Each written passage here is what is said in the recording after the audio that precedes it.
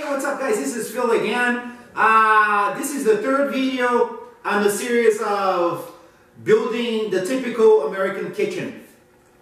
Uh, when I say the typical American kitchen, basically this video was an idea that a lot of my fellow uh, Brazilian friends asked me to do. So I, am going to do it in English as well. So uh, the guys that follow me here that sign up for the subscribe to the channel and haven't been following my work, they have the opportunity of uh, uh, watching as well. Obviously, that here it's more common.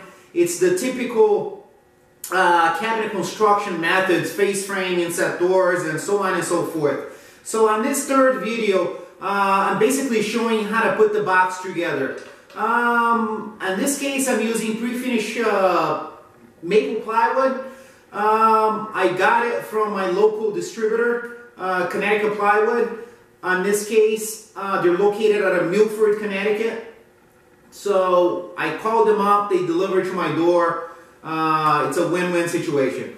So again, there are various uh, different methods of putting the box together. On this case, I kept it very simple because of none of the sides of the doors are going to be exposed uh, they're not going to be seen. I just uh, pin them from the side and I screw it from the side. They're not going to be seen. Obviously, uh, again, there are different methods. Sometimes, I mean, if you're going to see uh, in the future, I'll post a different video showing a different method. But I would uh, probably dowel the sides and glue or dado the sides to make that connection. But uh, enjoy the video. So the first thing I do when I'm building the box is, is to determine uh, the width of the cabinet. On this case, it's just a standard 24 inch uh, deep cabinet. That's including the, the face frame. So I just ripped this to um, 23 inches because my face frame is one inch thick. So once I once I have the plywood ripped to 23 inches, I start cutting uh, all the sides which it was uh, four boxes in total. So I ended up cutting uh, eight sides. Uh, and the reason why I do that, it's uh, I start cutting all the sides first so I can set my dado blade and I put the groove where the back it's gonna go uh, in the back of the cabinet, which is uh, I set the the dado blade to half inch in thickness because that's the, the the thickness of plywood that I'm gonna be using in the back of the cabinets.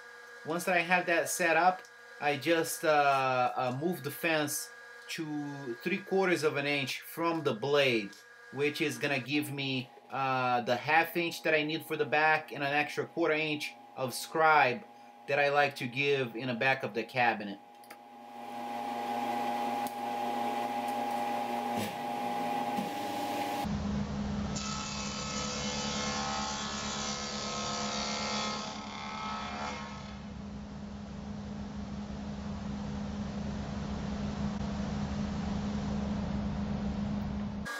So first I start with a scrap piece to make sure that the, the height and the location uh, it's correct.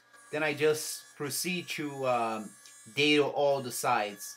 And that's gonna um, predetermine the width of my plywood as well. So once that this is uh, all done, I just measure from the front to the back of the dado and that's gonna give me uh, the width of plywood that, that I should be ripping next to make the bottom and the dividers.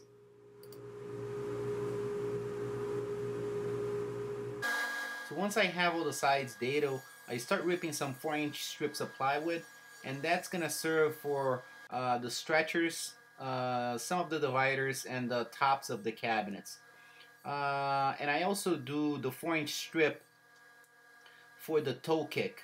Um, the toe kick it's a separate entity from the cabinet. So typically uh, before I install the cabinets I install the toe kick first make sure that everything is uh, level.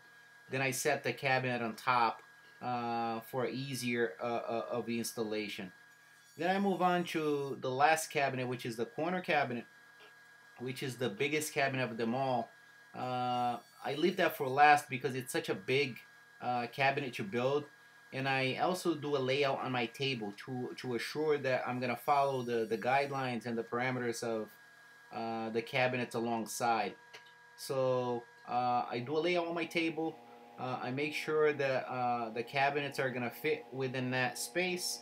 Um, then I mark it and cut that uh, front section, which is the, the part perpendicular to the both corners.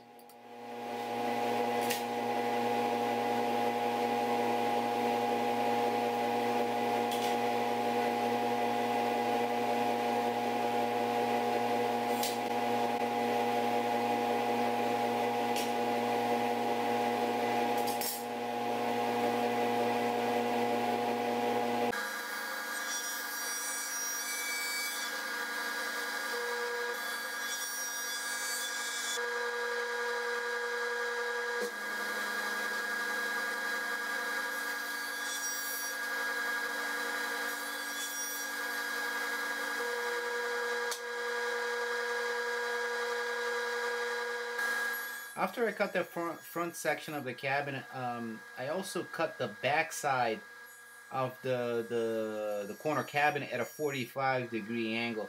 And that's based on the size of the shelf that I'm going to be using inside.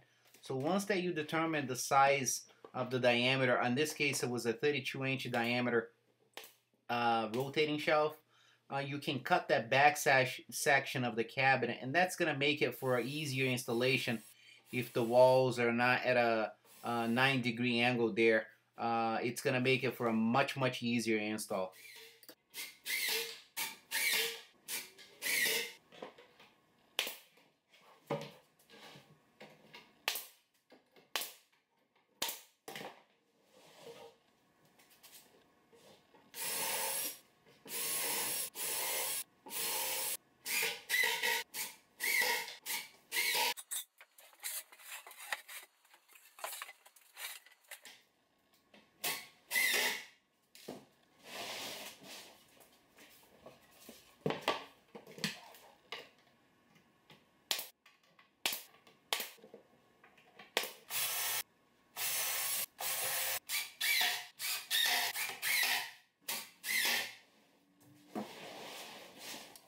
So once I have that corner cabinet assembled, I move on to installing the rotating shelf, which is, uh, I start by determining uh, what type of application uh, I'm using. In this case, it's a face frame cabinetry, so I just follow the guidelines of the template and uh, uh, it makes it for an easier install and assures that everything is going to be lining up and plumb inside of that cabinet.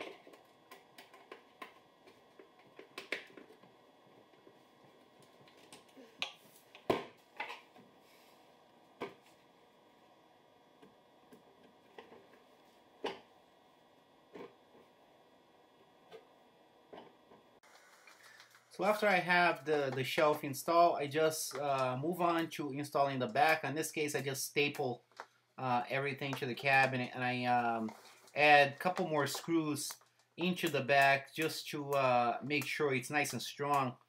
Because um, uh, when I install the cabinets, I want to make sure that I can screw through that half inch plywood and uh, it's not gonna pull the back uh, off the cabinet.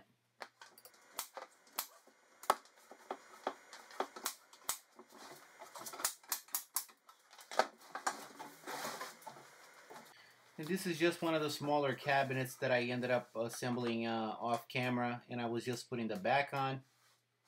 And it was the same process. I just uh, go ahead and destaple everything and add some screws to it to add some rigidity uh, and make sure that that back is not gonna come off um, when I screw it back into the wall. So if you like the video give it a thumbs up. Subscribe to the channel if you're not subscribed yet and you'll be one of the first ones to receive uh, a notification about the next video uh, which is the next video is probably gonna be about finishing. Um, I'm gonna be using Campbell stain and lacquer. Um, so stay tuned. Thanks for watching